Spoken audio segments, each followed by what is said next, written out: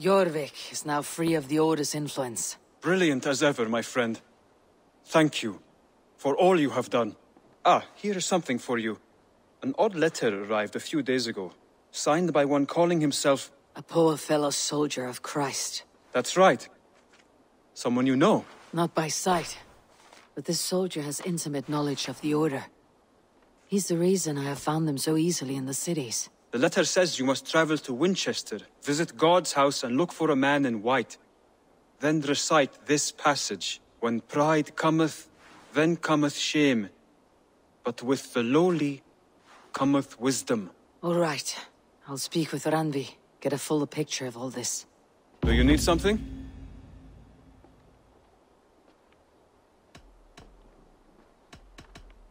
I have to go. Then go in peace.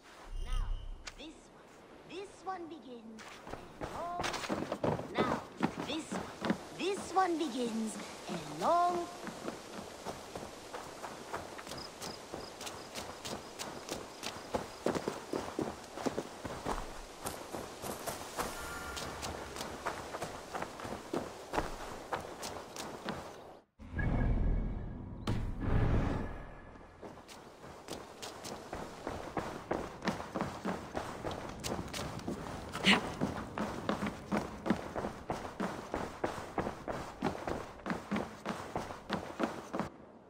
Pleasure to see you, Eivor.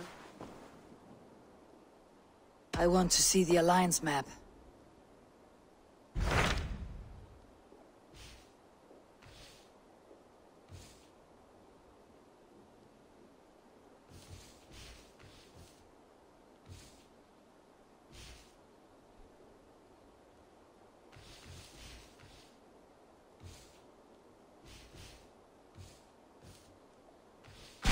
Hytham received a message from Winchester, from someone calling himself a poor fellow soldier of Christ. Your hidden ally.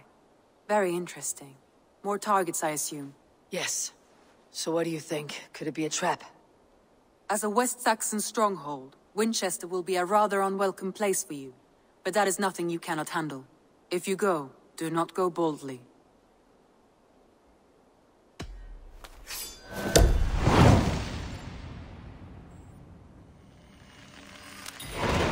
I'll make my way to Winchester.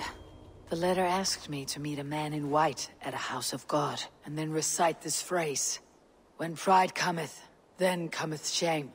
But with the lowly cometh wisdom. A passage from their holy book, I believe. Interesting. Go with care.